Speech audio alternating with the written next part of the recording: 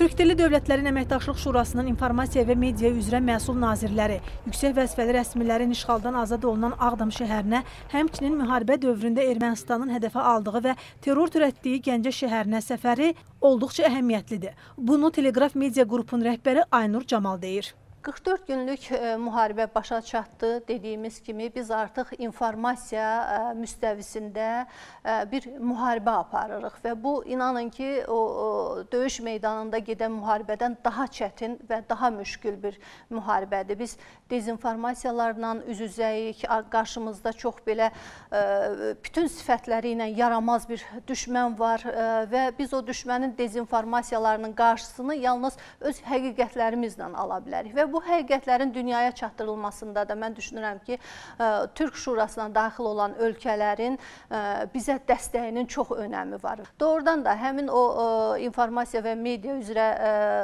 məsul nazirlər Bakıdakı toplantıdan sonra Gəncədə oldular, Ağdamda oldular. Məsələn, Gəncədə oldular dinc əhaliyə qarşı o edilmiş terror aktlarının ə, e, nəticələrini gözləri ilə gördülər. Dinc insanlara qarşı necə ə, e, SKAD ə, e, raketlərindən ə, istifadə olunubdu.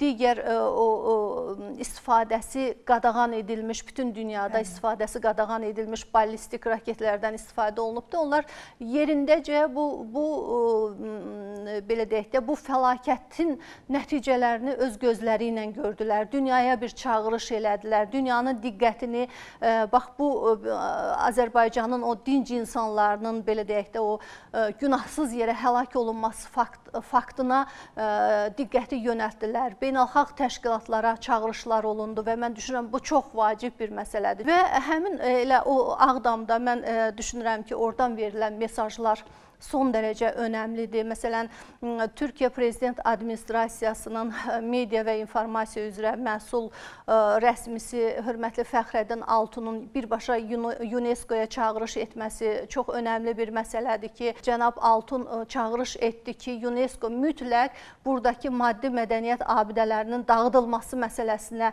münasibət bildirməlidir. Azərbaycanın yanında olmalıdır və və bu maddi mədəniyyət abidələrinin bərpası əsasında bütün dünya Azərbaycana dəstək göstərməlidir. Teleqraf media qrupunun rəhbəri Aynur Camal hesab edir ki, işğaldan azad olunan ərazilərin bərpasına üzv ölkələrin də qatkısı olacaq. Yəni təşkilatla informasiya və media sahəsində qarşılıqlı platforma çərçivəsində bir sıra layihələr həyata keçirilə bilər. Özbəkistanın Qarabağda məktəb tikdirmək niyyətində olması bu baxımdan təqdirə layiq hal kimi qiymətləndirilir. Özbəkistan rəsmisinin e, Qarabağda işğaldan azad olunmuş e, bölgəmizdə məktəb tikmək təklifi. Yəni bilirsiniz bu çox gözəl bir addımdır. E, çünki bilirsiniz e, Özbəkistan bu günəcə ümumiyyətlə Türk Şurasında e, müəyyən qədər neytral bir mövqedə idi və bu əlaqələrə o qədər də maraqlı deyildi və Özbəkistanın bu gün o ça çağırışla, o təkliflə çıxış eləməsi mən düşünürəm ki, təkcə Azərbaycan üçün yox, bütövlükdə Türk dünyası üçün çox böyük bir